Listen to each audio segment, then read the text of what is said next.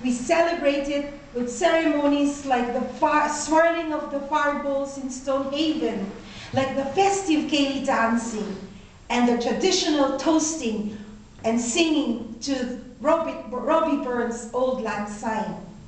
In the Philippines, where I originally come from, we start the year literally with a bang. Days before the New Year's Eve, festive firecrackers line the sidewalks for sale. And the vendors blare out their colorful, garish trumpets we call torotot as they swing round and round their wooden rickety rattlers, making a sound like a child running a stick along a railing. Anything to make a noise. We believe as Filipinos that the noise and the noise make, the, make ward off the evil around us. Well, my grandmother has a very quirky way of celebrating the new year. When we were children, we were told to always wear something with polka dots or circles or round figures. And she insists that the table be lined with uh, 12 round different fruits that are round, such as apples and oranges and our local rambutans and lanzones. 12 signifying the 12 months of the coming year, and the round figures signifying prosperity. So if you adhere to that, then for the next 12 months of the coming year, you'll be prosperous and you'll be rich. She also told us that if at the stroke of midnight, all the children would have to jump 12 times. And the higher you jump, the taller you grow for the following year. Of course, the boys make it out as a competition because everybody wanted to be a basketball superstar. Basketball in the Philippines is re revered as much as uh, football here in Scotland. So they really make it out as a competition as well. The girls just do it for the fun of it.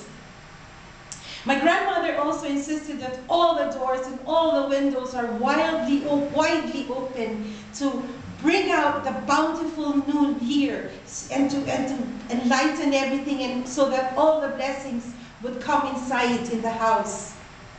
The night crescendos to a deafening loudness brought about by the firecrackers, the bangers, and the clashing of the pots and pans like cymbals, and the blaring of the trumpets and the car horn like bugles in reveille. Then all of a sudden, at quarter past midnight, everything stands still. It was as if a conductor of an orchestra enters in and silences everything. And then afterwards, it builds again. Um, now it comes to a crescendo of human voices as the family gathers in the festive dinner table to celebrate what we call medianoche, the, the main, the family father, like the father, comes in and, and says the thanksgiving for the, for the evening and toasts for the new year, for the hopes and the dreams of the family.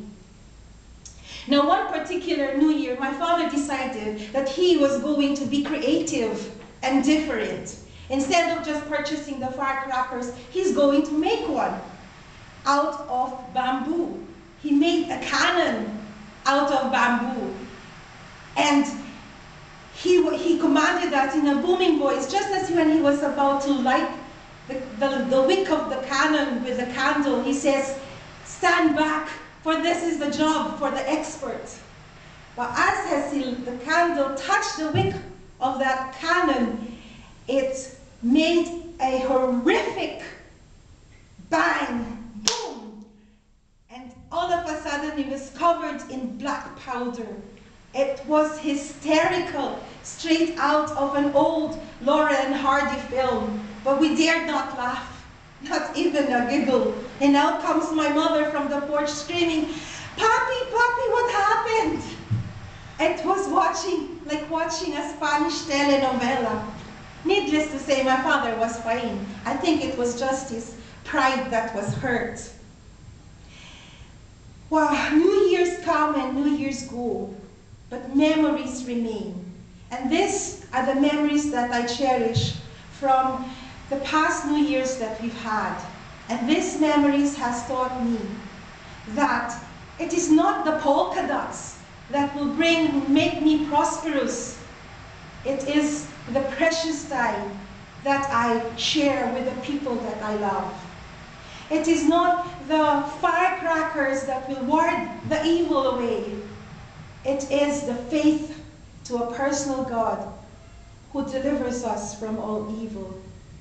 And it is not the opening of wide doors and, and opening the windows, but it is an open mind and an open heart to see the beauty and the goodness in every man. With this, I sincerely wish everyone a happy and a prosperous new year.